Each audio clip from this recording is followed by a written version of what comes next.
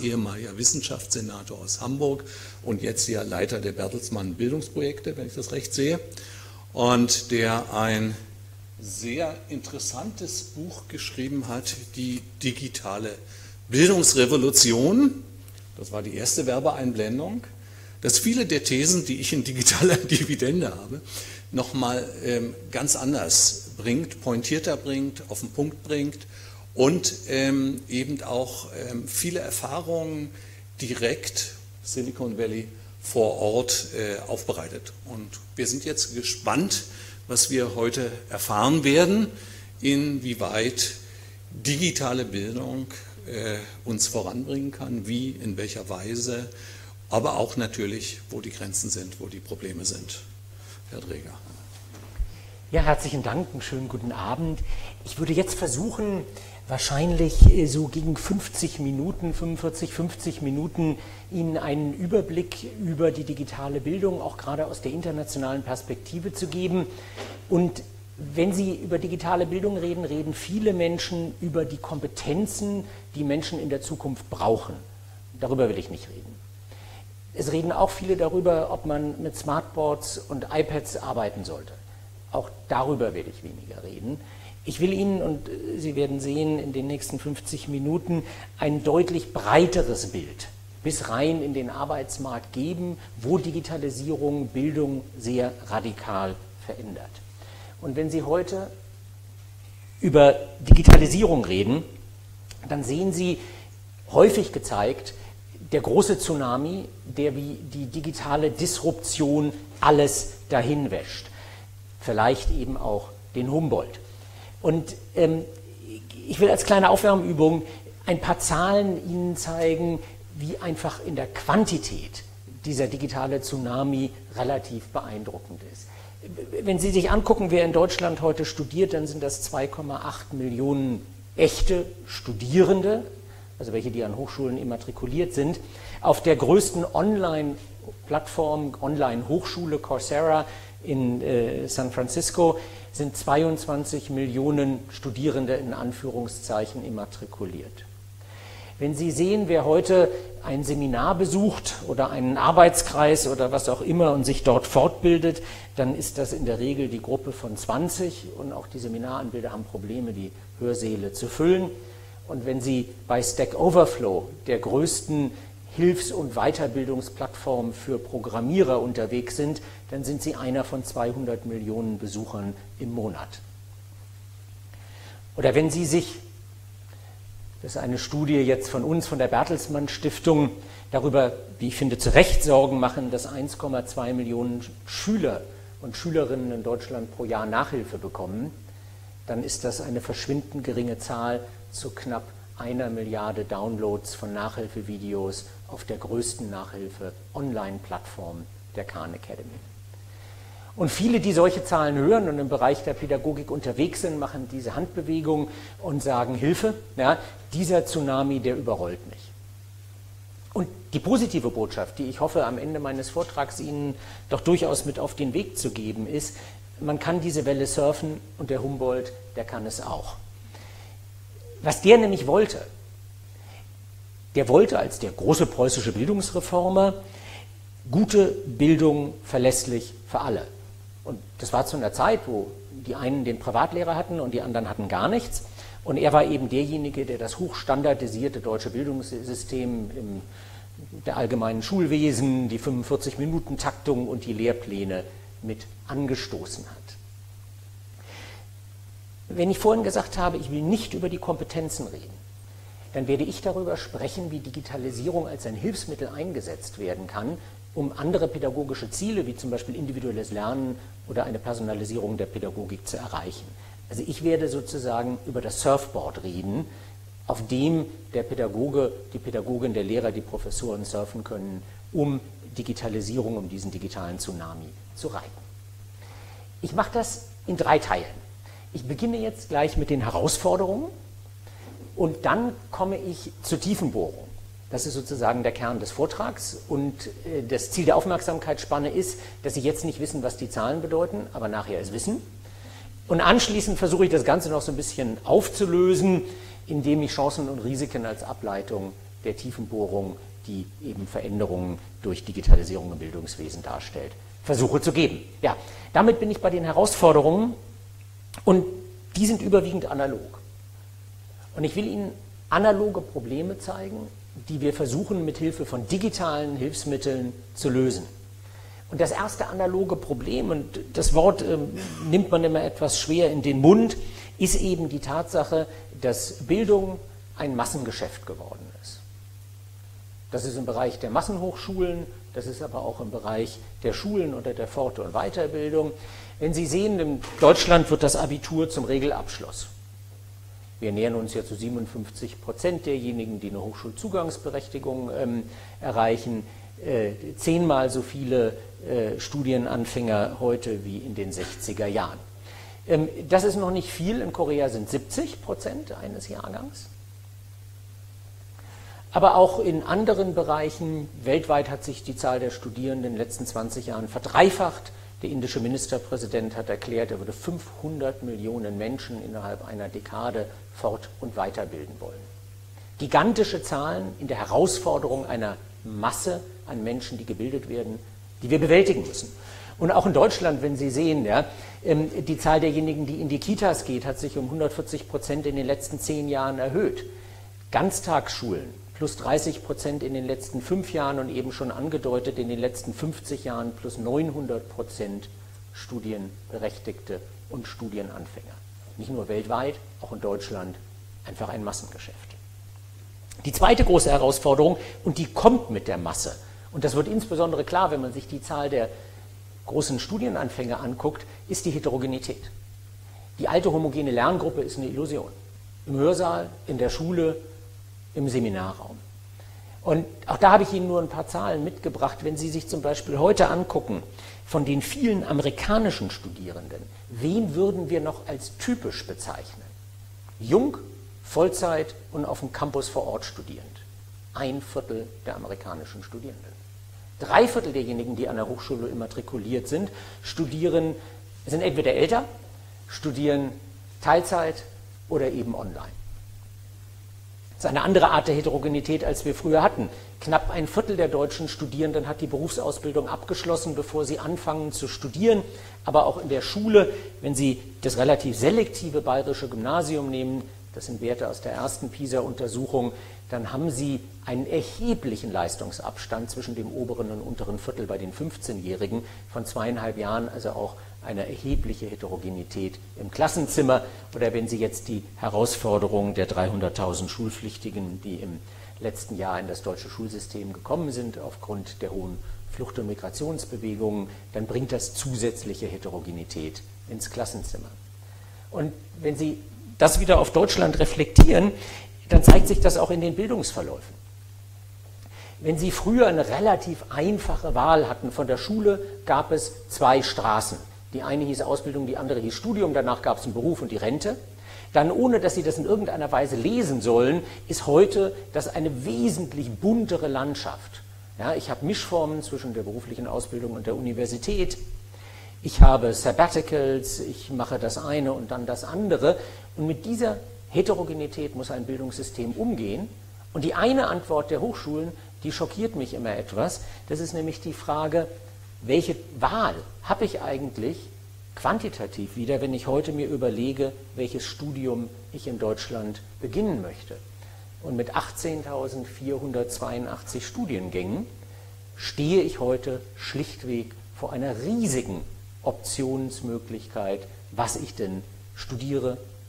Eine Antwort eben auf die Heterogenität der Studierenden, die von den Institutionen dadurch beantwortet wird, dass ich in meiner Heimatstadt Bielefeld zum Beispiel an der Fachhochschule des Mittelstandes auch einen Bachelor in Vegan Food Management machen kann und dadurch eben mit dieser hohen Spezialisierung auch sowas wie diese großen Zahlen zustande kommen. Also Masse, Heterogenität als die zweite Herausforderung und gleichermaßen die Konsequenz dessen, aber auch eine Herausforderung ist dann das, was mit den Kosten passiert. Und das sind zwei Infekte. Der eine kommt aus der Masse. Wenn Sie mehr Studenten haben, dann kostet das auch mehr Geld. Ich zeige das gleich nochmal mit deutschen Zahlen. Das ist aber per se erstmal ein linearer Effekt. Das Schlimme im Bildungswesen ist aber, Sie haben keine Skaleneffekte. Also wenn Sie in der Schule eine neue Schulklasse aufmachen, dann ist die nicht irgendwie günstiger als die letzte Schulklasse, die Sie hatten, sondern genauso teuer. Und wenn Sie 1000 neue Studierende an der Uni Kassel haben, dann kosten die das gleiche wie die letzten 1000 Studierenden. Während in der Industrie, wenn Sie also 10.000 Stück eines Produktes gemacht haben und Sie machen das 11.000. Stück des Produktes, ist in der Regel das ein Stück günstiger. Das heißt, das ist ein linearer Effekt. Schwieriger ist aber, was es bedeutet, mit Heterogenität umzugehen. Und ich habe Ihnen da mal amerikanische Zahlen mitgebracht. Ähm, hier wird gemessen zwischen 1971 und 2008, wie die Lesekompetenz sich in Amerika verbessert oder nicht verbessert hat.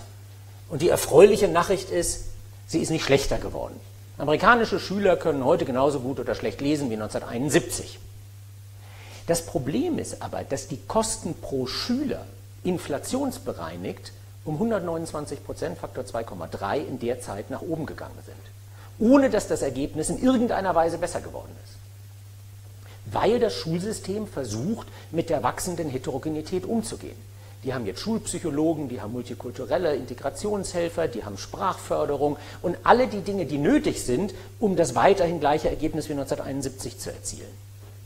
Und das Problem ist, diese beiden Kurven müssen Sie miteinander multiplizieren weil sie auf der einen Seite wesentlich mehr Menschen im Bildungssystem haben und auf der anderen Seite sind die wesentlich heterogener und sie geben pro Mensch im Bildungssystem, also pro Schüler, erheblich mehr Geld aus. Und dann merken Sie, dass Sie bei stagnierenden Lernergebnissen eine Explosion der realen Kosten haben, mit denen das analoge System nicht mehr klarkommt. Und wenn Sie das mal in Deutschland angucken, ja, dann gibt es die etwas anders gelagerte Reaktion. Also 2004 1,9 Millionen Studenten, 2013, 14 2,5 Millionen Studenten. Dann gucken Sie sich die absoluten Zahlen an in den Kosten. 7.268 Euro pro Student damals, 7.323 heute. Klingt super. Dann berücksichtigen Sie Inflation und sehen, dass die Stückkosten, die wir also zur Verfügung stellen, dem Bildungssystem nach unten gehen. Das System ist zwar linear mitgewachsen, aber eben inflationsbereinigt nicht. Und wir können uns, wenn wir ehrlich sind, oder wir leisten uns, wenn nicht können, wir leisten uns, wenn wir ehrlich sind, eben diesen Aufwachs des Hochschulsystems nicht mehr in der Art und Weise, wie wir uns den noch vor zehn Jahren geleistet haben. Masse, Vielfalt und Kosten. Das sind eigentlich die drei einzigen Herausforderungen, mit denen ich starten möchte und wo eben Menschen in aller Welt, insbesondere aber in den USA und in Asien, wo die Probleme einfach drängender sind als bei uns in Europa oder in Deutschland, versuchen digitale Lösungen zu geben. Und ich versuche jetzt in fünf Geschichten Ihnen diese Lösung näher zu bringen. Und ups, meine erste Geschichte, und das ist so ein bisschen die Aufwärmübung, weil einige von Ihnen werden zumindest Teile von dem kennen, die habe ich Sebastian Truns 412 genannt. Und äh, diese Geschichten sind Fallstudien aus dem Buch, äh, was Herr Buro eben erwähnt hat, die digitale Bildungsrevolution. Und die Sebastian Truns 412, dazu muss man wissen, Sebastian Trun ist ein Deutscher, der kommt aus Solingen, der ist aber Professor in Stanford. War auch mal äh, hoch ab bei Google, war da also irgendwie für selbstfahrende Autos, künstliche Intelligenz und sich selbst wieder füllende Kühlschränke zuständig. Und der äh, hat in Stanford künstliche Intelligenz gelehrt als Professor. Jetzt muss man wissen, Stanford ist die wahrscheinlich elitärste Hochschule der Welt. Nirgends äh, bewerben sich mehr und werden weniger genommen. Ähm, mit inzwischen über 50.000 Dollar Studiengebühren pro Jahr gibt es auch noch einen weiteren elitären Faktor in Stanford. Und der Sebastian Truhn zusammen mit seinem Kollegen Peter Norwig hat sich vor drei Jahren oder vier Jahren überlegt, dass es doch nicht gut wäre, wenn die Vorlesung, die er über künstliche Intelligenz hält, in die kleine Gruppe und den kleinen Hörsaal auf dem Campus Stanford begrenzt wäre. Denn die Lehre in Stanford findet überwiegend, obwohl die mitten im Silicon Valley sitzen, noch genauso traditionell statt, wie das hier auch der Fall ist. Und dann hat der Sebastian Thun über so einen E-Mail-Verteiler gesagt, äh, übrigens, meine Vorlesung künstliche Intelligenz gibt es auch im Netz. Ihr könnt die Videos euch angucken, ihr könnt die gleichen Tests und Übungen wie die Studenten im Hörsaal machen. Ihr könnt sogar das gleiche Abschlussexamen machen. Ihr müsst aber keinen Cent dafür bezahlen. Alles umsonst. Da haben sich am ersten Tag mit dem E-Mail-Verteiler 5000 angemeldet, am zweiten 10.000, dann 15.000. Und als sich 161.000 Menschen für diese Vorlesung angemeldet hatten, hatte Sebastian Truhn einen Anruf äh, seines Dekans oder Präsidenten von Stanford Und ich war bei dem Telefonat nicht dabei, aber danach wurde der Anmeldeverteiler geschlossen. Und 161.000 Menschen in aller Welt haben die Vorlesung Einführung in die künstliche Intelligenz mit Videos und Übungen mitgemacht, zusätzlich zu den, weiß ich nicht, 50 oder 100 Studenten im Hörsaal in Stanford. Und drei Monate später und Übungen und Tests und Abschlussexamen haben immerhin 23.000 bestanden. Jetzt kann man sagen, 23.000 von 161.000 ist eine katastrophale Quote. Auf der anderen Seite sind 23.000 wesentlich mehr, als der Sebastian Thun und der Peter Norwig in ihrem gesamten Leben je im Hörsaal erreicht haben und erreichen werden. Und das Spannende an der Geschichte für mich sind aber nicht die 23.000, sondern der Sebastian Thun ist dann die Liste der Besten durchgegangen. Und er wollte wissen, welche Menschen oder Studierenden haben das Abschlussexamen als die allerbesten abgeschlossen. Und was er wirklich getan hat, er hat den aller, allerbesten Stanford-Studenten in dieser Liste gesucht. Immerhin an der elitärsten Hochschule dieser Welt, diese unglaublich sorgfältig ausgewählten Studierenden. Und der stand an Stelle 413. 412 Menschen in der Welt, die es nicht nach Stanford geschafft hatten, waren besser als der aller, allerbeste Stanford-Student. Digitalisierung demokratisiert. Sie ermöglicht, dass ein sehr elitäres, exklusives Gut, was bisher auf dem Hörsaal begrenzt war, plötzlich für die, die motiviert und fähig sind, in aller Welt offen ist. Die Demokratisierung oder die Massifizierung der Bildung ist der erste große Effekt der Digitalisierung. Der zweite ist die Personalisierung. Und ich habe die Geschichte die School of Ones plus 50 Prozent genannt. Und die Geschichte spielt in New York an der David Abudi Schule. Und die David Abudi Schule ist eine Middle School, sechste bis achte Klasse. Ich glaube knapp 1000 Schüler. Liegt in Brooklyn und ist in, einer, in einem Ort angesiedelt in Brooklyn, in dem die sozialen Herausforderungen sehr groß sind. 80 Prozent der Eltern der Kinder in dieser David Abudi Schule beziehen Sozialhilfe also haben Recht auf kostenloses Mittagessen in den USA.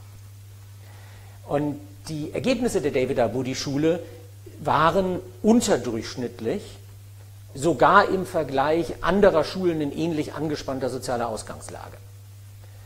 Und da hat der Schulleiter gesagt, das will ich nicht auf mir sitzen lassen. Er hat sich gefragt, wo sind meine größten Probleme? Die waren im Bereich Mathematik. Und er hat die gemeinnützige Organisation School of One also sowas wie individuelle Förderung, ja, die Schule für den Einzelnen, das Personalisierte, hat die gemeinnützige Organisation School of One gebeten, den Mathematikunterricht zu reformieren. Und wenn Sie heute in Brooklyn in die David Abudi Schule reinkommen, sieht die im Erdgeschoss aus wie jede andere amerikanische Schule, grüner Linoleum, Fußboden, Klassenzimmer, 27 Kinder und so. Und Sie kommen ins erste Stockwerk und da sieht alles anders aus. Ein Riesenraum, 90 bis 100 Kinder in einem Raum, die sitzen da irgendwie an runden Tischen die Betreuer oder Lehrer gehen nur noch rum und die Kinder machen irgendwie alle was mit einem Laptop oder einem iPad. Was die School of One gemacht hat, ist, die hat die, ich glaube, 80.000 Lehreinheiten, die es in den USA in der sechsten bis achten Klasse, es gibt jahrgangsübergreifenden Unterricht dort, die dort zur Verfügung stehen, hat diese 80.000 Lehreinheiten sich angeguckt und hat die 10.000, die sie am geeignetsten hielt, genommen und digitalisiert. Kleines Erklärvideo, eine Simulation, ein Lernspiel, alles, was man an verschiedenen Darbringungsformaten digital machen kann. Und wenn die Schüler da in der School of One sitzen, dann gucken sie ein Video und wenn sie es nicht verstehen, spulen sie es zurück oder machen eine Simulation, versuchen das zu verstehen, machen ein kleines Lernspiel und üben Mathematik. Das Revolutionäre an der Geschichte ist aber nicht, dass die Kinder das irgendwie digital machen und die Lehrer rumgehen und sie dabei betreuen, das Herzstück und das Revolutionäre der School of One sitzt mitten in Manhattan. Da steht nämlich ein großer Zentralrechner, der für über 10.000 Schülerinnen und Schüler jede Nacht ein individuelles Curriculum in Mathematik für den nächsten Morgen berechnet. Denn bei alledem, was die Kinder machen, entstehen Daten. Und alle diese Daten werden in den Zentralrechner eingespeist. Und wenn die Kinder morgens in die David Abudi Schule und in viele andere Schulen in Amerika kommen, sehen sie auf so großen Flughafen, großen Monitoren an der Seite Tracy Station 7 Bruchrechnen wiederholen, Paul Station 8 Differentialrechnung. Und jeder dieser 90 Kinder in dem Klassenzimmer folgt einem eigenen Curriculum und einem eigenen Lehrplan, den ein Zentralrechner in Manhattan mit Hilfe von unendlich vielen Daten, die generiert wurden, jede Mausbewegung, jeder Klick, jede richtige und falsche Aufgabe über Nacht berechnet hat. Zwei Jahre nach Einführung lernten die Kinder an der David Abudi Schule 50 Prozent mehr Mathematik pro Jahr als der amerikanische Durchschnitt. Nur dadurch, dass sie jeder an dem arbeiteten, was sie bewältigen konnten und nicht alle an dem gleichen. Zweiter Effekt der digitalen Bildung, Personalisierung, auch in großen Gruppen. Das, was ich beschrieben habe, kann jeder gute Lehrer in einer Gruppe von vier, sechs und wahrscheinlich sogar zwölf Kindern. Bei 30 wird es schwierig und bei 300 im Hörsaal unmöglich. Dem Rechner in Manhattan ist es egal, ob er 10.000 oder 100.000 Kinder in der Nacht bedient.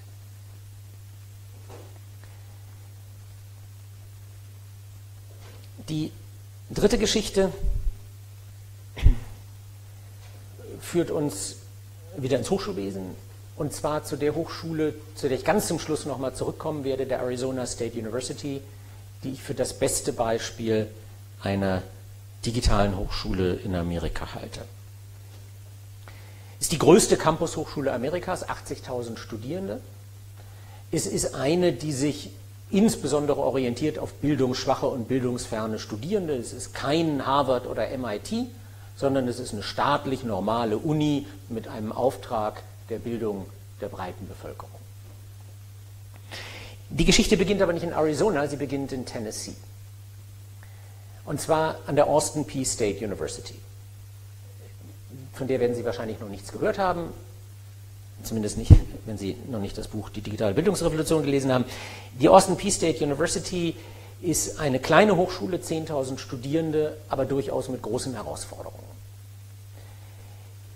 Tennessee ist arm, die ist auch noch eine Stunde außerhalb von Nashville, da ist es noch ärmer. Und die 10.000 Studierenden an der Austin P. State University, die studieren nicht Philosophie oder theoretische Physik, sondern die studieren Buchhaltung oder Krankenpfleger, Krankenschwester werden, etwas Praktisches, mit dem sie irgendwie einen Job kriegen, der mehr als Minimum Wage bezahlt. Und die Eltern dieser 10.000 Studierenden sind überwiegend nicht Akademiker. Ist eine ganz klassische Hochschule für diejenigen, die zum allerersten Mal eine Hochschule besuchen. Und die große Schwierigkeit und das Drama an der Austin Peay State University, dass, glaube ich, zwei Drittel oder irgend sowas der Studierenden den eigentlich auf vier Jahre oder drei Jahre angelegten Bachelor innerhalb von sechs Jahren nicht fertig kriegen. Die studieren entweder ewig oder brechen ganz ab. Und da gab es einen Kanzler, Tristan Denley, Mathematiker, der auch das nicht auf sich sitzen lassen wollte. Der gesagt hat, der Bildungsauftrag unserer Hochschule ist, Menschen zum Erfolg zu führen und nicht Abbrecherquoten in der Höhe zu produzieren. Und er hat sich die Frage gestellt, warum brechen unsere Studierenden ab? Und die Antwort war relativ einfach, denn sie wissen nicht, was sie tun. Sie belegen Vorlesungen und Seminare aufgrund ihrer Unkenntnis, bei denen sie keine Chance haben, die zu bestehen. Klassisches Beispiel, ich gehe an die Uni, ich will irgendwas mit Wirtschaft machen, dann habe ich ungefähr 1000 Vorlesungen und Seminare, die mir optional zur Verfügung stehen. Und dann denke ich, Volkswirtschaft ist doch eine super, klingt super, Leider war ich in Mathematik immer eine Katastrophe. Ich habe keine Eltern, die ich fragen kann, ob Volkswirtschaft was mit Mathematik zu tun hat. Das finde ich nach sechs Wochen raus, da ist es zu spät, ich scheitere. Der Tristan Denley hat sich gesagt, warum weiß Amazon, was ich kaufen will? Warum weiß Netflix, welchen Film ich gucken will? Und warum ist meine Hochschule zu blöd, unseren Studierenden zu erzählen, was sie belegen sollten? Und daraufhin hat er ein Stück Software schreiben lassen, was die 500.000 Datenpunkte der Vergangenheit, die irgendwo in den Datenbanken der Austin Peay State University schlummern, von Studierenden, die schon mal Vorlesung A belegt und bestanden und Vorlesung B gescheitert waren, vergleicht mit dem individuellen Profil des einen Studenten, der jetzt vor der Wahl steht, was soll er bloß im nächsten Semester machen. Und diese Software kann mit einer unglaublichen Präzision vorhersagen, ob ein Student mit welcher Note welche Vorlesung besteht. Mit 90% Treffsicherheit weiß die Software, ob ein Student eine bestimmte Vorlesung mit welcher Note bestehen oder nicht bestehen wird, bevor der Student überhaupt darüber nachdenkt, die Vorlesung zu belegen. Und solche Systeme hat jetzt auch die größte Campushochschule Amerikas, die Arizona State University, übernommen.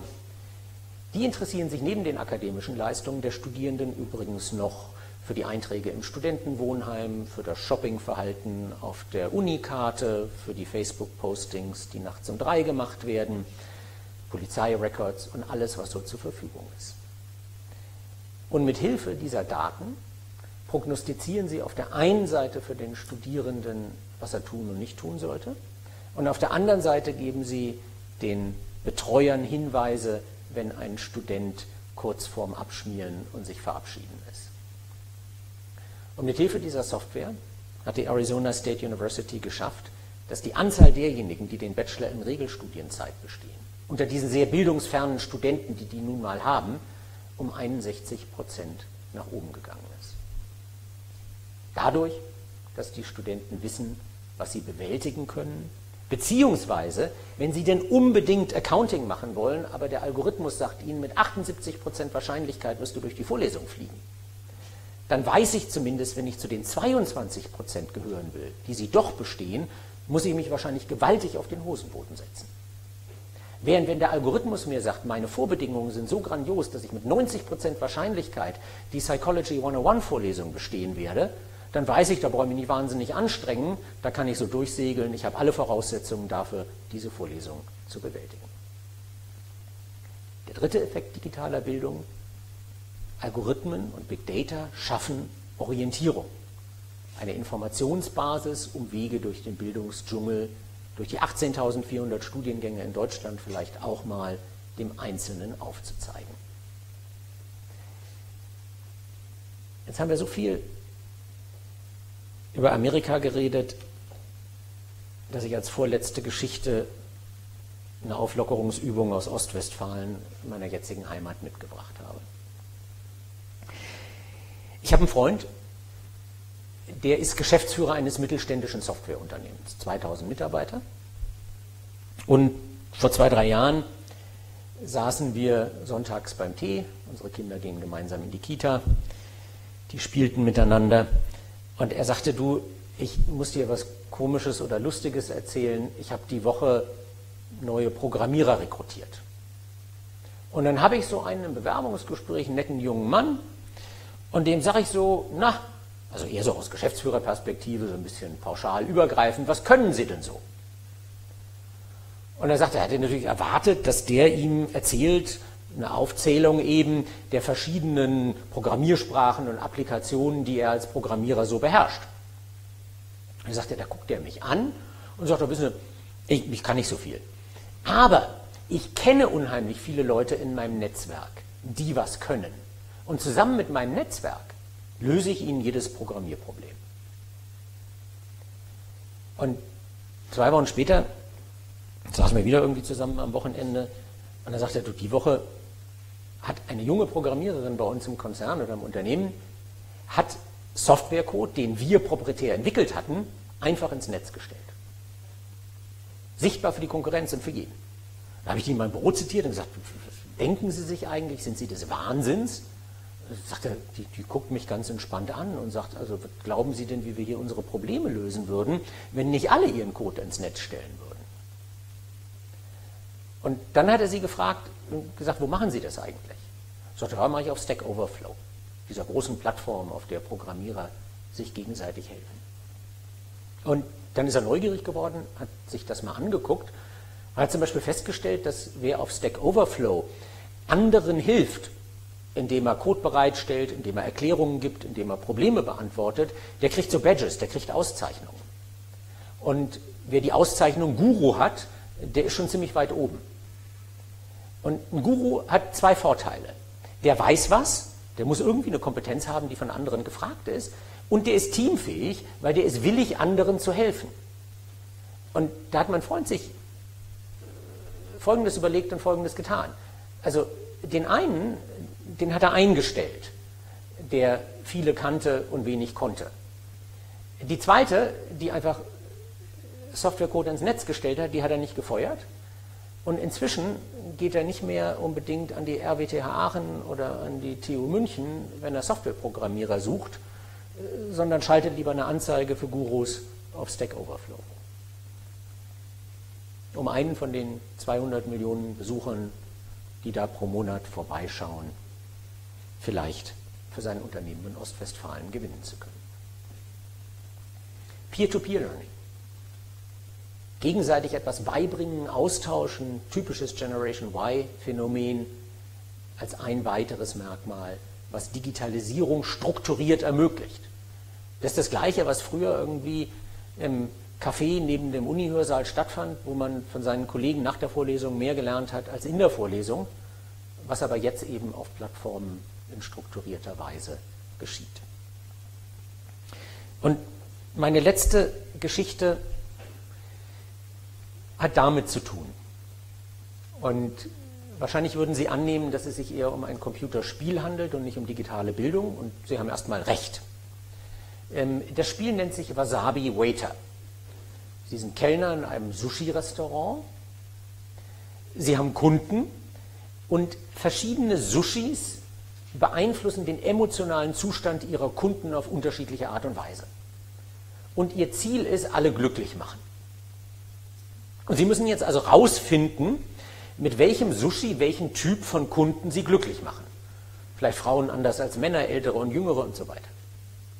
Und es kommen leider immer mehr Kunden und es wird immer hektischer und Sie müssen immer schneller aus Ihren Fehlern lernen. Dieses Spiel hier nennt sich Dungeon Scroll. Das hier ist so ein Logikspiel, da müssen Sie diese Kreise umdrehen, damit Sie da irgendwie äh, durch diese Tunnel durchkommen. Das sind alle Spiele, die ein Spielehersteller namens NAC im Silicon Valley erfunden hat. Und NAC behauptet, in 20 Minuten Computerspiel lernet er mehr über einen Menschen und dessen Eignung für eine bestimmte Stelle, eine bestimmte Position, als die bisherige Lebensleistung dieses Menschen durch Zeugnisse und alles, was man vom Arbeitgeber mitkriegt und Bescheinigungen aussagt.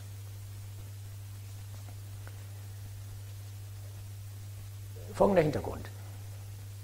Die Unternehmen im Silicon Valley, so die Googles und Apples dieser Welt, die haben sich vor einiger Zeit die berechtigte Frage gestellt, gibt es irgendetwas von Vorhersagekraft, um zu wissen, ob jemand, den ich einstelle, ein guter Mitarbeiter wird?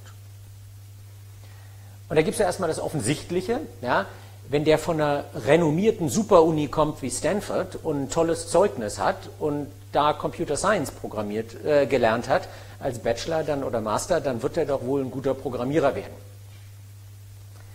Die Antwort war etwas ernüchternd.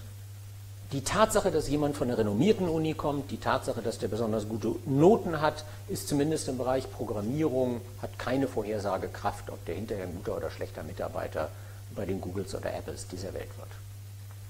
Das ist jetzt schon mal relativ ernüchternd für das Individuum, wenn Sie gerade 200.000 Dollar an Studiengebühren für Stanford ausgegeben haben und da an dieser renommierten Uni einen Abschluss gemacht haben, dass das trotzdem nicht irgendwie damit was zu tun hat, ob Sie dann hinterher im Job richtig abheben. Dann haben die sich als nächstes gefragt, was hat denn Vorhersagekraft? Und da hat irgendwer Schlaues nach einer ordentlichen Big Data-Analyse herausgefunden, dass wenn Sie sich auf einer bestimmten japanischen Internetseite für Manga-Comics interessieren, Sie mit einer signifikant höheren Wahrscheinlichkeit ein guter Programmierer bei Google oder Apple werden, als wenn Sie keine Manga-Comics lesen. Jetzt können Sie als Personalverantwortlicher also sich irgendwie auf die Manga-Comic-Seiten dieser Welt begeben und gucken, wer von welchen IP-Adressen da rumsurft und versuchen, den irgendwie anzusprechen, sagen, wollen Sie bei uns irgendwie arbeiten. Und dann hat man sich tatsächlich doch gefragt, ob es Dinge von noch höherer Vorhersagekraft gibt als Manga-Comics lesen. Und da sind die Jungs von NAC, diesem Spielehersteller, dazugekommen. Und die behaupten, nach 20 Minuten Computerspiel können Sie sagen, ob jemand für eine bestimmte Stelle passt oder nicht. jemand sehr traditionelles, Hans Harringer, äh, der bei Shell arbeitete, wollte das mal ausprobieren. Heute arbeitet er übrigens bei NAC, aber damals war er noch bei Shell. Der hat bei Shell die Game Changer Unit geleitet. Die Game Changer Unit ist so eine Art interner Inkubator. Da kann man sich mit seinen Projekten bewerben und dann kriegt man Geld von Shell und dann hat man entweder Erfolg oder nicht Erfolg. Und wie das bei so einem ordentlichen Inkubator immer ist, 10% der Projekte werden erfolgreich und 90% scheitern. Jetzt wäre es natürlich gut gewesen, wenn man vorher gewusst hätte, welche 90% scheitern, bevor man denen Geld gibt. Der Hans Harringer hatte jetzt 20 Jahre Erfahrung.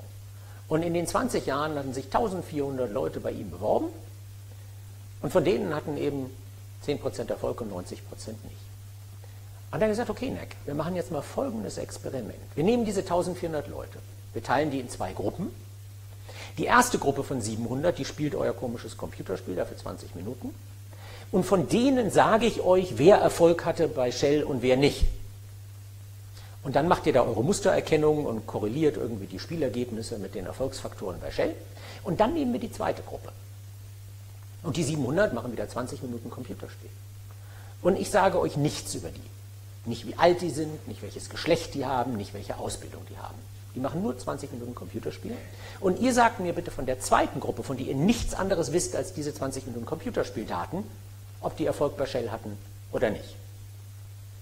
Hat das Experiment gemacht, hat sich die Liste angeguckt und Neck konnte jeden Einzelnen rausfischen, der Erfolg hatte, und jeden Einzelnen raussortieren, der keinen Erfolg hatte.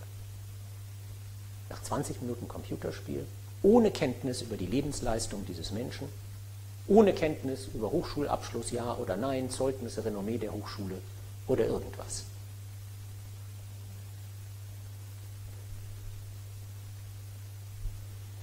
Digitale Bildung wird verändern, wie wir Kompetenzen messen und wie wir solche Kompetenzen zum Arbeitsmarkt matchen können. Und wenn Sie jetzt sehen, dass bei dem ersten MOOC Massive Open Online Course von Sebastian Truhn, den ich in meiner ersten Geschichte beschrieben habe. Ein damals elfjähriges pakistanisches Mädchen, Katja Niazi, spreche ich sicher falsch aus, zu den 23.000 gehörte, die bestanden hat. Als eine Frau aus Lahore im Alter von elf, die nie eine Chance gehabt hätte, künstliche Intelligenz in Stanford sonst zu lernen. Die aber jetzt sowas lernen kann. Die sich über ein Computerspiel von NAC für einen Job bewerben könnte, wenn sie etwas älter wäre. Und die vielleicht da auch besser abschneidet als alle anderen.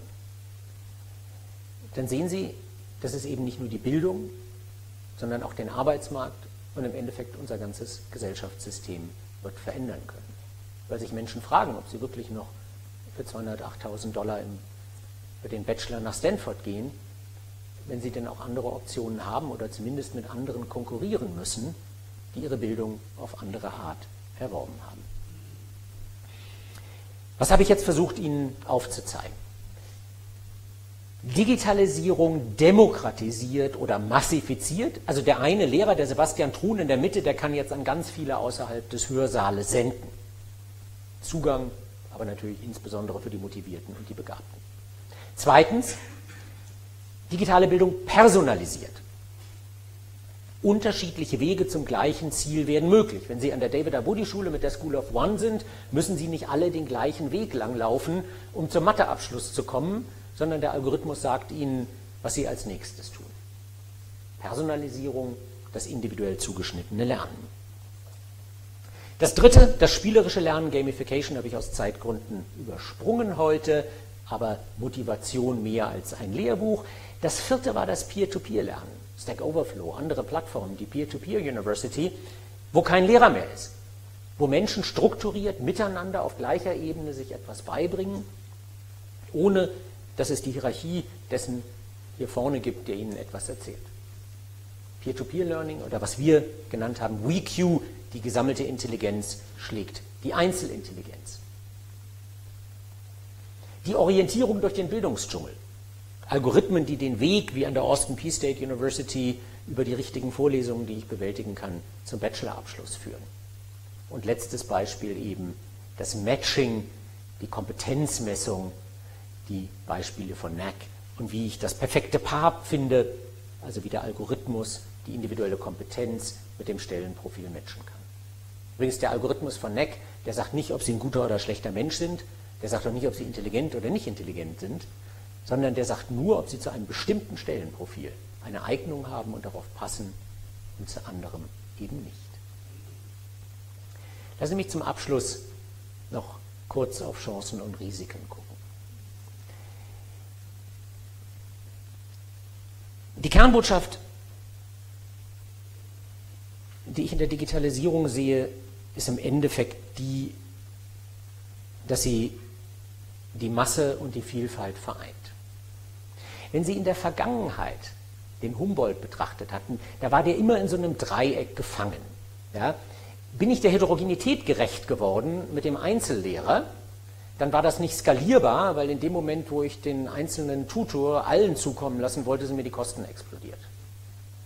Mache ich die Massenbildung, wo jeder das Gleiche kriegt, halte ich zwar die Kosten runter, aber aufgrund der großen Heterogenität fallen mir zu viele durchs Raster. Und was digitale Bildung versucht, ist sich, wenn Sie wollen, in die Mitte dieses Dreiecks zu positionieren. Zu vernünftigen Kosten einer größeren Gruppe eine personalisiertere Bildung zukommen zu lassen. Und diesen Effekt ähm, sehen Sie eben auch im, im, Umgang mit dieser Vielfalt und diese Lernlandkarte, die ich eben gezeigt habe.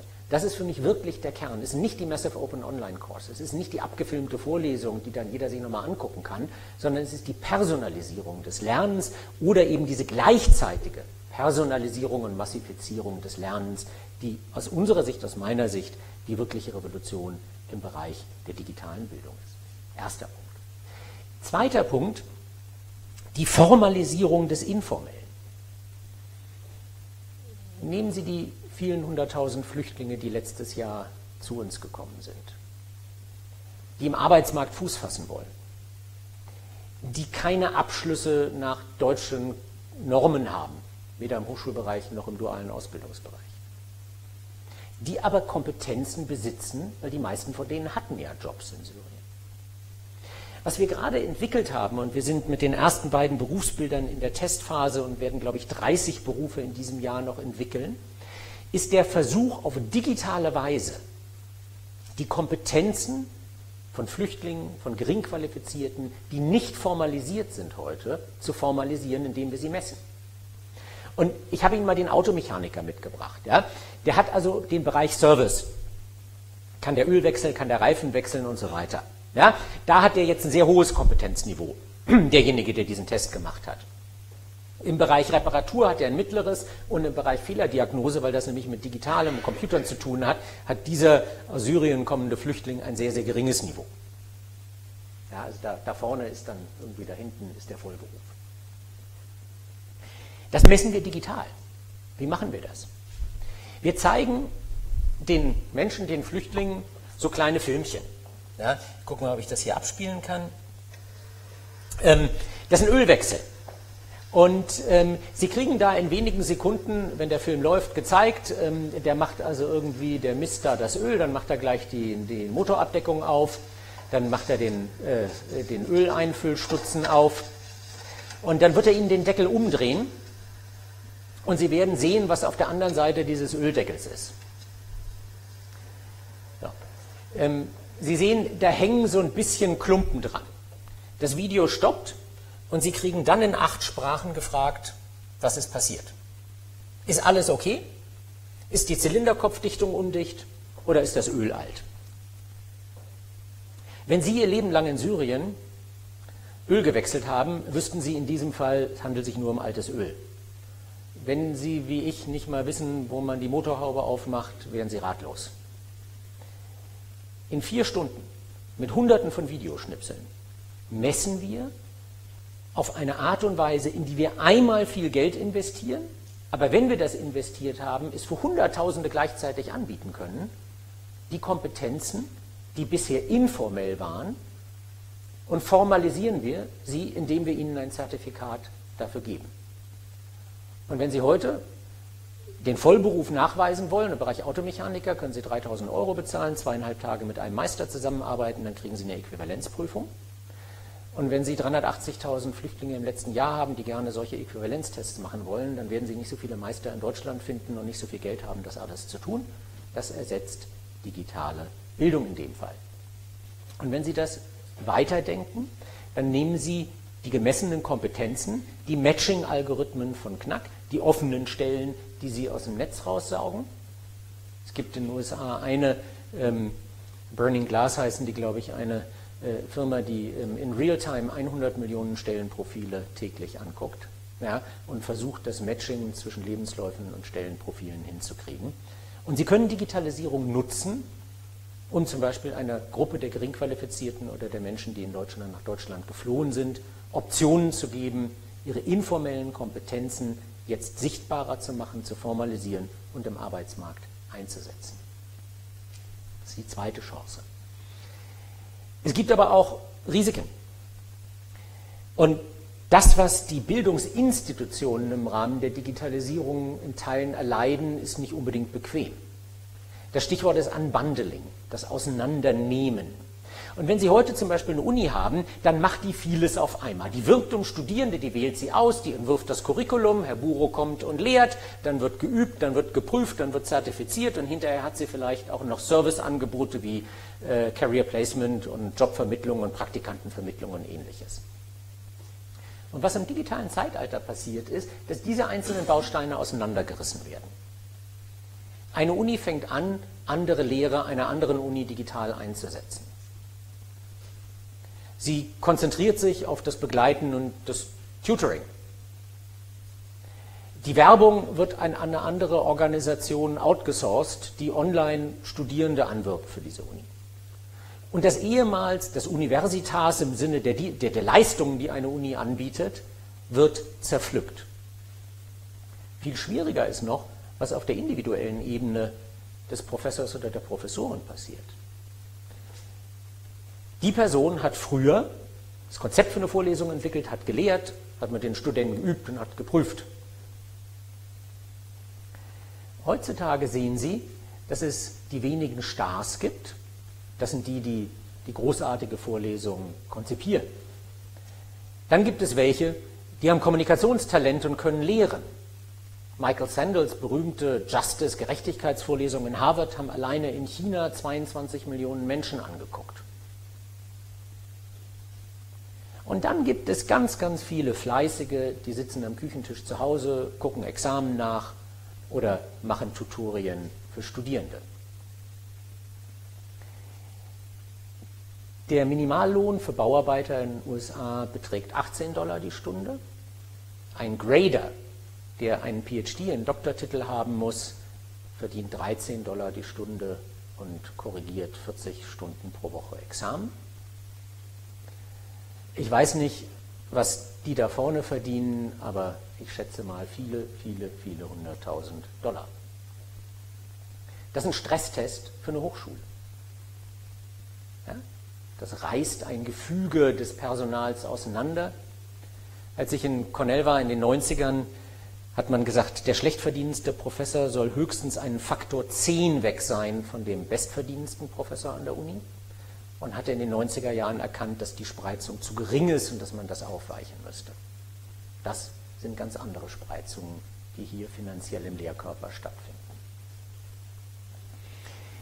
Aber auch positive Nachrichten. Die Arizona State University hat jetzt viele Instructional Designers als eine neue Personalkategorie geschaffen. Menschen, die der Faculty helfen, ihre Vorlesungen digital zu gestalten und zu reformieren. Es geht nicht um Technik, es geht um Fortbildung. Ja, sowohl an der Arizona State University werden die Leute fortgebildet, als auch an anderen Orten. Neue pädagogische Konzepte kommen durch die Hintertür mit Digitalisierung rein. Es wird viel mehr Lehre personalisiert. Geht aber natürlich auch darum, den rechtlichen Rahmen zu verändern, die Infrastruktur zu schaffen. Nehmen Sie eine Lehrverpflichtungsverordnung. Ich weiß nicht, neun Stunden oder so, was acht haben Sie, sind glücklicher hier. Ja, hier ist noch acht. Ja, Sie machen eine digitale Vorlesung, die bieten Sie drei Jahre hintereinander an. Zählt das im zweiten und dritten Jahr auch noch für Ihre Lehrverpflichtung?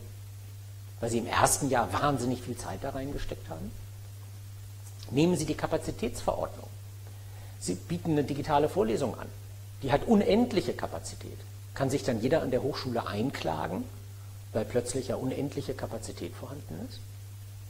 All das müssen wir reformieren. Urheberrechte, Datensicherheit, ähm, Algorithmic Accountability, ein Riesenthema, zu dem ich heute gerade in Berlin am Morgen war, ähm, und weiteres. Tja, Datensicherheit noch einmal, der gläserne Lerner, wahrscheinlich ist Ihnen auch bei dem Arizona State Beispiel am Ende etwas unwohl geworden. Ja, da wird auf Finanzdaten zugegriffen, auf Studentenwohnheim-Einträge, auf Facebook-Postings, alles um Gutes zu wollen, um den Studenten zu helfen. Aber trotzdem entsteht natürlich eine Transparenz, der wir begegnen müssen mit Datensouveränität und das Letzte, was wir wollen, dass diese Bildungsdaten dann dem Arbeitgeber zur Verfügung gestellt werden, damit der weiß, wer im Alter von 40 einen Burnout erhält, weil er über Big Data-Analysen festgestellt hat, wer in der siebten Klasse in Englisch schlecht war und im Studium in Mathe Probleme hatte, hat mit 40 einen Burnout oder irgend sowas. Das wäre das Letzte, was wir wollten. Also Datensicherheit, rechtliche Reform, mehr pädagogische Fortbildung, aber eben auch die Chancen. Ja, die Welle kann ich surfen. Mein Abschlussgedanke. Mit drei kurzen Beispielen von Institutionen, die surfen. Arizona State sind wir jetzt schon ein paar Mal begegnet. Die setzen Personalisierungssoftware auf dem Campus ein, um die ganzen Einführungsvorlesungen in Fremdsprachen, in Naturwissenschaften, in Mathematik personalisierter zu gestalten und ihrer Heterogenität der Studentenschaft gerecht zu werden. Sie haben festgestellt, dass viele Studierende es nicht auf den Campus schaffen, weil sie gleichzeitig Kinder erziehen, arbeiten müssen, Eltern pflegen. Und sie haben ein Online-Studium aufgebaut, was 20.000 oder 25.000 Studierende heute schon belegen, mit den gleichen Kosten wie das Campusstudium, aber auch mit der gleichen Erfolgsquote wie das Campusstudium, für das ich hinterher ein Zertifikat kriege, nämlich ein Bachelor oder ein Master, an dem der Arbeitgeber nicht mehr erkennen kann, ob ich auf dem Campus oder online studiert habe. Stark personalisiert, mit Online-Tutoren begleitet. Und jetzt haben sie sich was ganz Verrücktes überlegt. Das ist ein Experiment, keiner hat Ahnung, wie es ausgehen wird. Sie haben gesagt, das erste Studienjahr öffnen wir für jeden in der Welt. Ist egal, ob Sie Abitur haben oder wie alt Sie sind, Sie können das erste Studienjahr mehr oder minder in der Global Freshman Academy in Arizona studieren. Kostenlos. Und diejenigen, die die Credits angerechnet haben wollen, zahlen, glaube ich, ein Sechstel der Gebühr wie auf dem Campus, kriegen dafür Credits und ihre Zertifikate. Und die allerbesten dieser Studenten dürfen auf dem Campus im zweiten, dritten und vierten Studienjahr weiter studieren. Das heißt, was Arizona macht, ist, sie erweitern die Personalisierung, sie erweitern den Zugang für diejenigen, die übrigens im Durchschnitt zehn Jahre älter sind und online studieren im Vergleich zu den Campus-Studierenden und sie öffnen sich mit einem völlig neuen Marketing- und Zugangsmechanismus allen Studierenden in der Welt mit der Global Freshman Academy. Ich glaube, mit der Global Freshman Academy haben sich über 100.000 am Anfang immatrikuliert. Wenn zum Schluss 1.000 überbleiben, ist wahrscheinlich schon ein Riesenerfolg, also auch gigantische Abbruchquoten. Aber es sind 1.000 Leute, die bisher keine Chance hatten und die eine kriegen. Minerva, ein angebliches Ivy League der Online-Hochschulen, Beispiel, die nur im digitalen Zeitalter möglich ist, eine Hochschule, die surft. Die Studierenden vier Jahre lang sind in vier Städten der Welt. Starten in San Francisco, können nach Buenos Aires, können nach London, können nach Berlin, können nach Seoul. Sie studieren kontinuierlich online das gleiche Curriculum mit den gleichen Kolleginnen und Kollegen weiter, leben dann aber ein Jahr in Seoul, machen ein Praktikum, lernen Koreanisch, haben Cultural Experience. Und das Einzige, was die Hochschule hat, sind Studentenwohnheime in den verschiedenen Orten, aber keine Hörsäle mehr, keine Sportanlagen.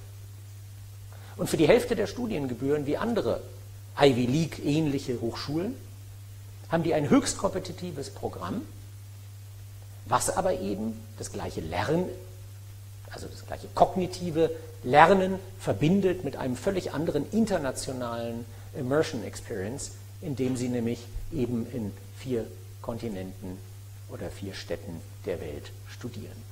Und das letzte Beispiel ist in Lausanne.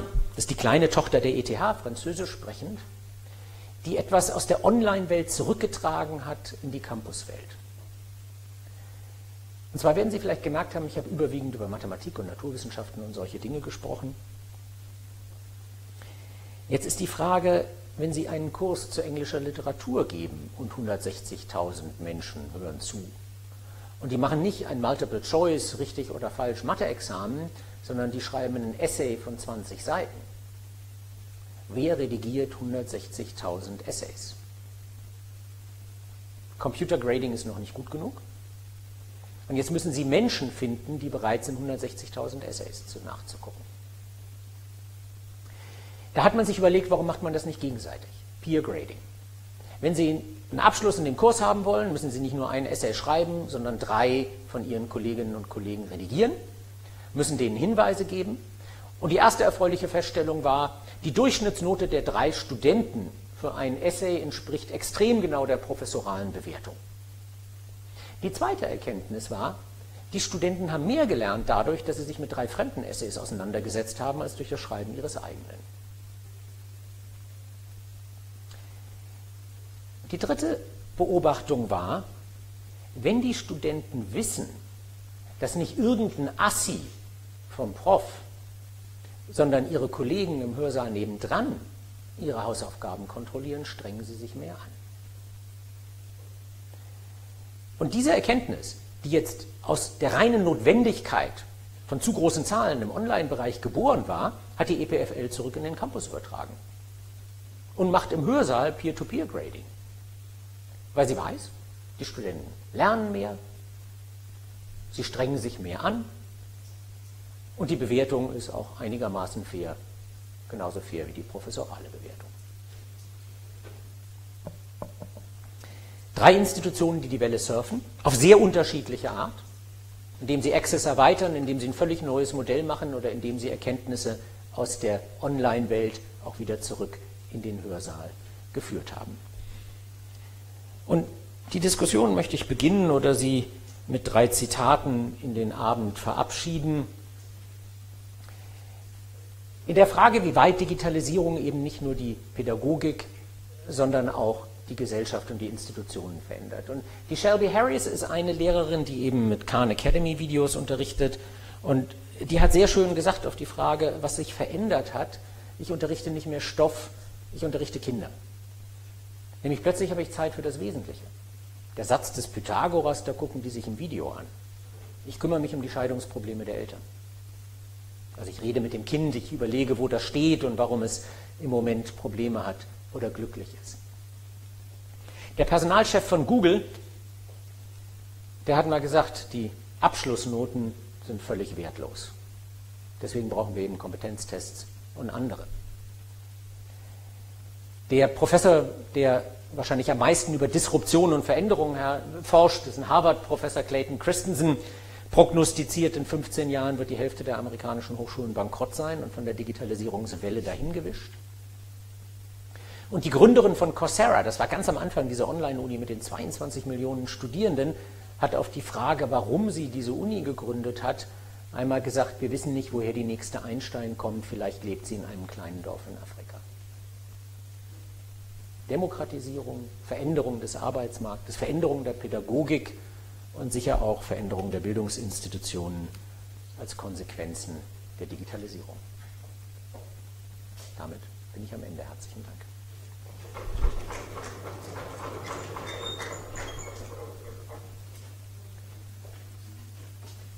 Herr Buro moderiert, aber es gibt schon den ersten Kollegen.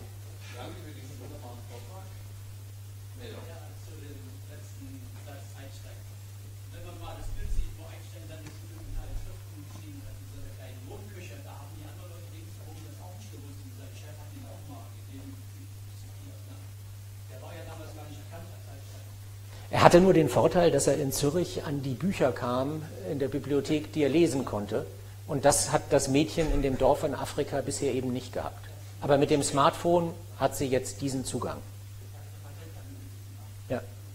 Naja, was das äh, Interessante an dem äh, Beispiel Einstein ist, dass eben die ähm, Erfindung nicht in der Universität stattfindet. Er wurde ja, bekam keine Stelle als wissenschaftlicher Mitarbeiter, sondern er wurde Patentbeamter dritter Klasse und hat dann außerhalb der Hochschule sozusagen mit zum Beispiel den Göttinger drei, mit anderen Physikstudierenden spazieren gegangen und haben darüber solche Dinge entwickelt. Und das Interessante an der Sache ist, das ist genau das, was mit der Digitalisierung hier passiert, also die Öffnung. Also die Vorstellung, dass wenn man in schlecht belüfteten Räumen sitzt und frontal belehrt wird, dass man da hinterher klüger ist. Also diese Vorstellung, ähm, die, die funktioniert eben nicht und es gibt jetzt die Möglichkeit, dieses aufzulösen. Ne? Genau, wobei der erste Schritt, ich meine, das ist diese, dieses elfjährige Mädchen, die Katja Neazzi, ähm, äh, die es schafft, von Lahore aus, äh, so wie so ein kleiner Einstein, künstliche Intelligenz zu lernen. Die hat inzwischen den Bachelor fast abgeschlossen. Vor zwei Jahren saß die auf dem Weltwirtschaftsforum auf dem Podium, ja, im Alter von 14 ähm, in Davos. Ähm, die ist jetzt, das sind außergewöhnliche Persönlichkeiten, die diese Opportunitäten ergreifen können. Aber wenn eben personalisiert wird, ja, wenn Algorithmen einem helfen, die Wege durch den Bildungsdschungel zu finden, dann ist das auch für mehr als nur die Einsteins. Ja, für mehr als diejenigen, die also eine unendliche Motivation und Fähigkeit haben, sich die Dinge beizubringen.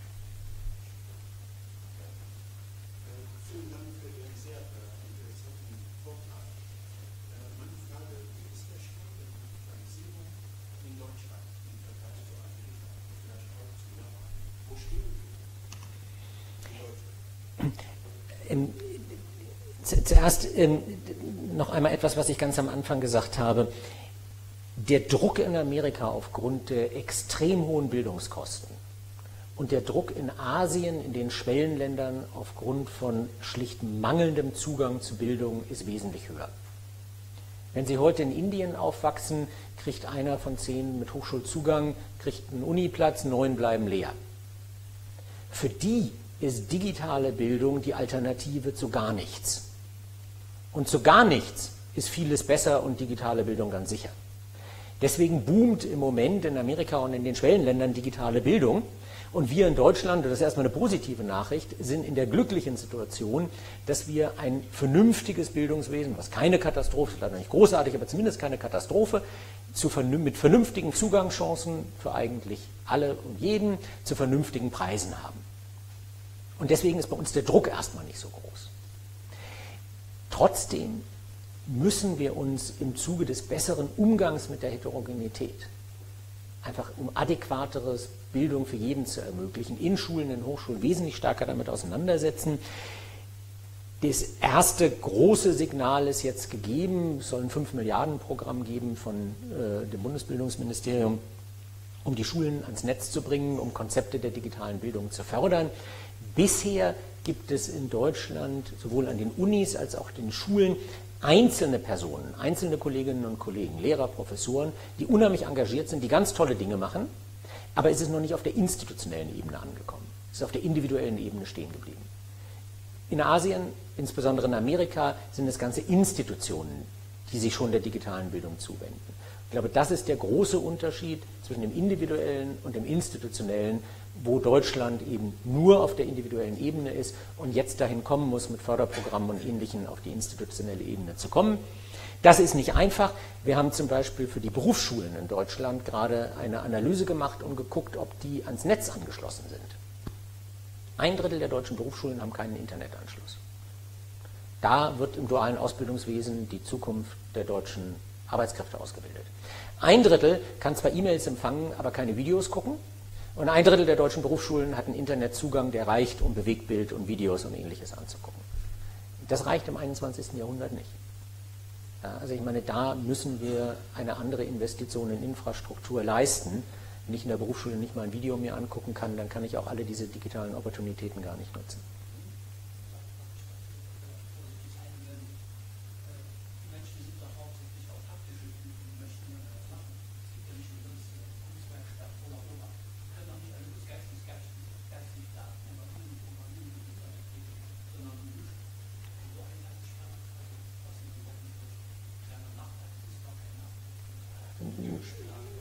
Naja, also wenn Sie zum Beispiel an die Berufsschulen und die duale Ausbildung denken, dann können Sie natürlich jetzt nicht irgendwie die Tischlerlehre durch ein digitales Video ersetzen. Klar. Ähm, auf der anderen Seite, der Tischler lernt Englisch, die Grundlagen der Mathematik, Geometrie und so und fährt dann vielleicht auch noch aus dem kleinen Dorf 70 Kilometer weg von Kassel in die Berufsschule nach Kassel für den Freitag, um zwei Stunden Englisch und eine Stunde Geometrie zu lernen. Ja. Und da gibt es eben, ja, also Digitalisierung löst nicht jedes Problem, aber es löst mehr Probleme, als wir heute versuchen zu lösen. Ja, und also die, die Geometrievorlesung äh, in der Berufsschule, die kann ich wahrscheinlich besser ersetzen, als ich sie äh, äh, heute on-ground mache, ähm, das Tischlerhandwerk nicht. Obwohl es erstaunlich viele Erklärvideos auf YouTube gibt, äh, mit denen man erstaunliche handwerkliche Dinge, ich sage das aus eigener Erfahrung, auch selber hinkriegt, auch wenn man theoretischer Physiker ist und jetzt also nicht begnadet in der bisherigen Ausbildung in handwerklichen Tätigkeiten. Ich möchte nur ergänzen, Sie waren leider nicht bei der letzten Vorlesung, da hat Bado Herzig äh, von der Hochschule Paderborn ein anderes Beispiel gebracht, nämlich er geht mit Schulklassen auf eine Skaterbahn. Und bei der Skaterbahn macht er nichts anderes, als die zu befragen, was interessiert euch? Und dann sagen die, ja, wir würden gerne mal herausfinden, wie hoch einer springt oder äh, wie schnell ist er. Und dann zeigt er ihnen ähm, solche Messdioden, äh, die man haben kann. Es gibt da 20 verschiedene. Und dann gucken die sich das an und dann überlegen die, oh, das würden wir gerne bauen. Und das erklärt er mir nicht. Sondern der versucht nur herauszufinden, was sie wünschen. Und dann fangen die an, plötzlich solche Dinge zu bauen. Und das heißt, der Gegensatz zwischen digital und analog, der ist so gar nicht bestehen. Das ist eine typisch deutsche Debatte, dass ja. immer sozusagen gesagt wird, jetzt wird alles digitalisiert und jetzt äh, verschwindet das Analoge. Aber das ist die falsche Debatte. Ganz im Gegenteil. Wenn es ein gutes pädagogisches Konzept gibt, und das ist das Entscheidende, dann kann Digitalisierung in diesem Bereich ganz viel bringen. Also die, die Mischung macht's. Ja. Jede Studie zeigt, dass ein guter Hybrid zwischen analoger und digitaler Bildung erfolgreicher ist als das rein analoge und das rein digitale. Ja. Aber es gibt wenige Felder, die Sie komplett digitalisieren können. Das können Sie vielleicht im Sprachlernen für Professionals, können Sie irgendwie ein bisschen was auch ganz digital machen. Also ich glaube, der, der Bertelsmann-Konzern jetzt hat jetzt irgendwie digital, also Digital First ausgegeben für Fort- und Weiterbildung und man soll erst immer mal gucken, ob es ein digitales Angebot gibt und wenn man noch zum analogen Seminar will, im Bereich eben der Fort- und Weiterbildung äh, bei Sicherheitstrainings und ich weiß nicht was, dann muss man das gesondert begründen, aber man soll erst mal gucken, was digital geht. Aber das, sind, das ist nicht Persönlichkeitsbildung im Schulalltag, ja, sondern das sind sehr spezifische Wissensaufnahme.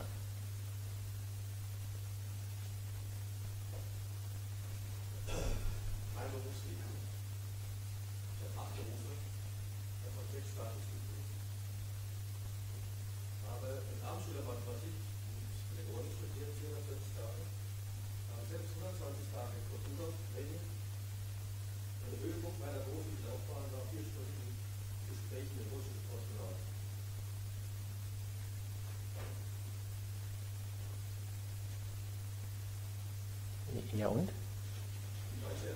Hm? Ja, was ist Ihre Frage? Habe das nur, das ist keine Frage, man muss sich eben auf den Rückboden setzen, das wusste ich ja schon, ich bin ja schon eine ganze Weile zu Hause. Ja.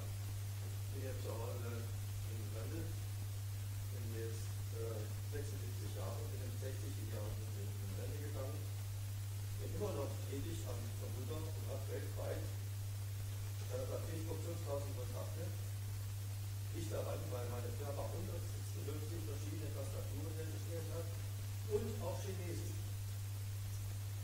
Wir haben also das, äh, Chines die chinesischen Zeichen in elektronische Schreibsystem eingepackt. Und für den Professor, der an der Uni bis zu 8000 Zeichen braucht, noch einen Monitor angesetzt, denn es gibt ja chinesische Zeichen, die sind in Teil 4D. Da habe ich erstmal angefertigt, auf der Düse. Der sich ausgedacht hat, war ein chinesischer Professor. Und er hat es dargelegt, bei seiner Regierung eine Zeitung herzustellen, mit einem elektronischen System. Und haben sie in sechs Jahre in Verbannung geschickt. Auf der Stelle. Er hatte gerade noch Zeit, zu Hause auf Wiedersehen zu sagen. Und in dieser Zeit hat er das chinesische, die chinesischen Zeichen in der Häufigkeit sortiert dann haben wir, eine Firma, die normale Prinzip, das Tastatur sechsmal drunter gesetzt. Also nicht nur, dass man das körperlich sieht. Natürlich nicht sechs körperlich die Tastaturen, sondern die waren anwählbar über sieben Tasten. Also sieben Tastaturen insgesamt. Gut, äh, das ist ein interessantes Beispiel. Ich würde jetzt nur sagen, dass wir die Zeit noch nutzen, auch wenn es Fragen gibt. Da ist noch eine Frage. Ja. Das eine, Sie haben das Stichwort der Big Data.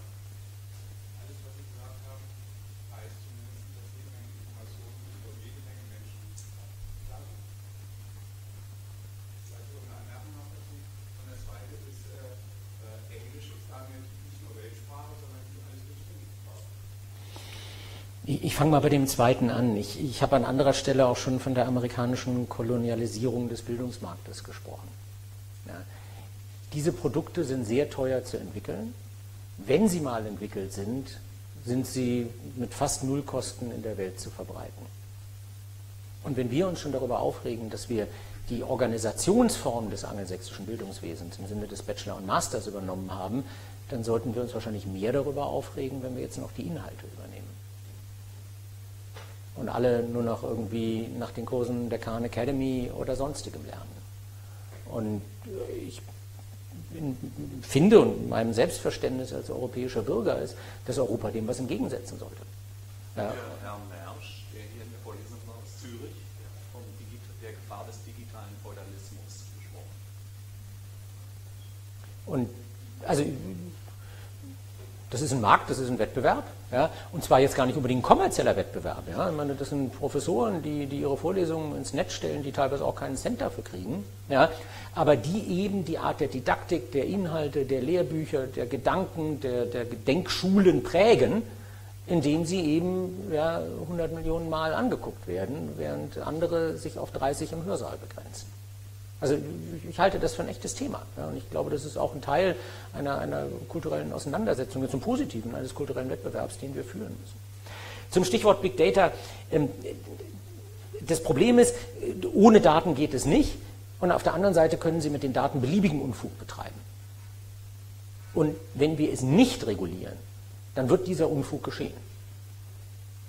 Und das reine Weggucken und sagen, das geht uns nichts an und dazu müssen wir nichts tun, wird genau zu dem Unfug führen. Und deswegen müssen wir uns auch im, im, Rahmen der deutschen und europäischen Gesetzgebung eben überlegen, wie wir mit Bildungsdaten umgehen. Kleines Beispiel, die amerikanischen äh, Bildungsanbieter, Schulen und Hochschulen haben eine Selbstverpflichtung unterschrieben, die sagen, sie nutzen die Erkenntnisse aus diesen Big Data-Analysen nur zur Unterstützung und Hilfe der Studierenden und Schüler, nicht zur Selektion. Sie könnten ja anhand der Schuldaten auch erkennen, äh, welcher Student Ihnen vielleicht im siebten Semester so Probleme macht, dass Sie ihn nie hätten aufnehmen sollen. Und das erkennen Sie vorher, also nehmen Sie ihn nicht auf. Und genau das soll eben ausgeschlossen werden im Umgang mit Big Data, sondern Sie sollen es nur einsetzen, um Unterstützungsmechanismen zu liefern. Aber wenn Sie nichts regulieren und wenn Sie nichts regeln, dann wird auch das andere geschehen. Da bin ich ganz sicher. Ja,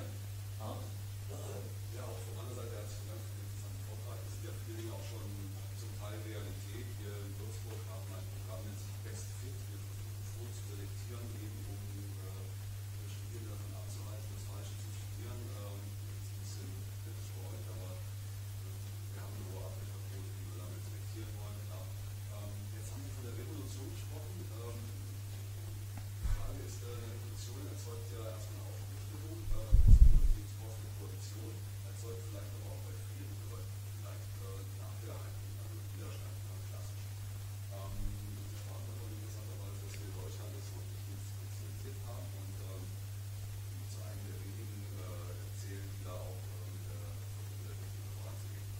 Ähm, haben Sie, Herr Schlanke-Peter, so zwei, drei Tipps ähm, für eine Institution wie eine Hochschule, die auf dem Weg der Digitalisierung ist? Und wie gesagt, ja, ähm, müssen wir das überhaupt machen? Und ich habe einen Kollegen gesagt, wir warten, bis es vorbei ist mit der Digitalisierung. Ähm, haben Sie da irgendwie äh, Strategien, das State University Arizona, wo man sagen kann, äh, so könnte das funktionieren, um den digitalen Wandel einer Ja. Institution auch voranzutreiben? Also eine, eine lose Folge von Tipps. Also ich, ich glaube, das, ähm, das Wichtigste ist, ähm, ist, man, eine Hochschule braucht eine Strategie, nicht im Sinne einer Digitalstrategie für eine Technik, sondern eine Strategie fürs 21. Jahrhundert. Und wenn wir nicht an den Problemen anfangen, die wir lösen wollen, ich glaube, dann kommen wir auch nicht zu sinnvoll akzeptierten, in der Breite der, der, der Faculty akzeptierten Lösungen. Ja, wenn ich jetzt in eine Hochschule gehe und sage, alles muss digital werden, ja, ähm, dann werden Sie weniger Freunde finden, als wenn Sie sagen, liebe Kolleginnen und Kollegen, zu den Zeiten, wo Studium zum Normalfall wird und 60 Prozent eines Jahrgangs studieren, haben wir eine gigantische Heterogenität im Hörsaal sitzen. Wie wollen wir mit der eigentlich umgehen? Dann habe ich ein analoges Problem. Ja, und dann suche ich für dieses analoge Problem Lösungen. Und ich glaube, das Wichtigste ist, es muss eine Strategie sein, die dann eben nicht nur diesen übergeordneten Charakter hat, sondern auch beim Präsident oder Rektor aufgehängt ist oder vielleicht noch beim, beim Prorektor oder Vizepräsident Lehre, aber nicht im Rechenzentrum. Ja, in dem Moment, wo Sie das Rechenzentrum beauftragen, sich eine Digitalstrategie für die Hochschule auszudenken, ja, dann kommen die irgendwie mit Bandbreiten und Geräteausstattungen und ähnlichem. Ja, auch alles wichtig, aber das ist nicht das, was Sie brauchen. Das Zweite, es hat viel mit einem pädagogischen Wandel zu tun. Und äh, ich hatte ja vorhin, als wir hier unten saßen, ähm, stand schon kurz gesagt, in, in Arizona State, glaube ich, müssen alle Kollegen jetzt zwei Wochen zur Fort- und Weiterbildung, alle Professoren für Digitalisierung, aber eigentlich für neue pädagogische Konzepte an der Uni. Ja. Und wie, wie kriege ich das hin, dass eben verstanden wird, dass es hier um die Chance eines pädagogischen Wandels mit technischer Unterstützung geht und nicht um irgendwie jetzt ein abgefilmtes Video, das hinterher ins Netz gestellt wird. Alles schön und gut, aber die Vorlesung wird nicht dadurch besser, dass ich sie abfilme. Ja? Das ist sehr interessant. Die, die, wird durch anderes besser, dass ich mir überlege, was das pädagogische Konzept ist und mir dann überlege, welche technischen Hilfsmittel ich haben will. Das ist sehr interessant, weil der Martin Krugmann, der ehemalige Schulleiter der Deutschen Schule in Silicon Valley, der sagt, äh, Jetzt Schulleiter in Gütersloh. Jetzt ja? in Gütersloh, Genau, ja. wollte, ich, wollte ich nur noch. ähm, die ganze Debatte ist zu Technik. Absolut, ja. Es geht, und wir hatten ähm, vor drei Vorlesungen die Schulleiterin der Dreier von Steinschule in Neumünster, die da führend sind, und die sagt, die haben ihren Wandel dadurch genommen, dass sie neue pädagogische Konzepte machen. Oder ungelöste Probleme. Ja? Also ge- gehen Sie heute in eine Schule und reden über Inklusion. Ich meine, wir, machen in NRW eine Lehrerfortbildung über, ich glaube, elf Tage mit ganzen Schulen zum Thema individuelle Förderung. Würden wir am Beginn der Lehrerfortbildung sagen, das ist jetzt geht um Digitalisierung und so weiter, würden, glaube ich, die Kollegen all die Tür zu machen nach Hause gehen. Ja? Es geht um individuelle Förderung. Es geht darum, dass jedes Kind einen eigenen Lehr- und Lernplan braucht. Und wenn die dann am elften Tag der Fortbildung sagen, dann stehe ich aber viel am Kopierer, können wir sagen, ja, dafür gäbe es vielleicht eine Lösung. Ja? Aber da war erst ein Problem, dann ein pädagogisches Konzept, ja, dann das Realisieren, dass ich im analogen Zeitalter damit sehr arbeitsaufwendig umgehen kann. Und dann kann ich mir überlegen, ob ich vielleicht eine modularisierte Datenbank mit Lernmaterialien habe und vielleicht ein digitales Endgerät brauche oder so, damit ich nicht so viel am Kopierer stehe. Das ist was, was ein Pädagoge versteht. Ja? Nur Digitalisierung einzusetzen, ist ja noch kein Fortschritt.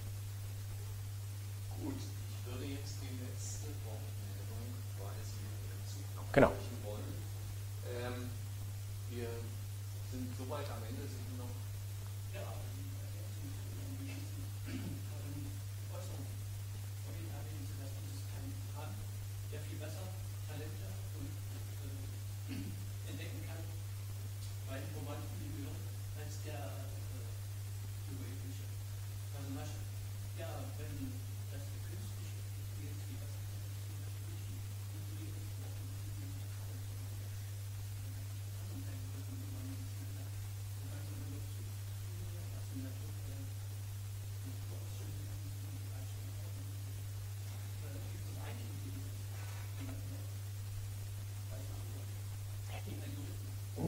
Naja, also meine, der Vorteil des Menschen ist, dass er eine unglaublich breite Intelligenz hat.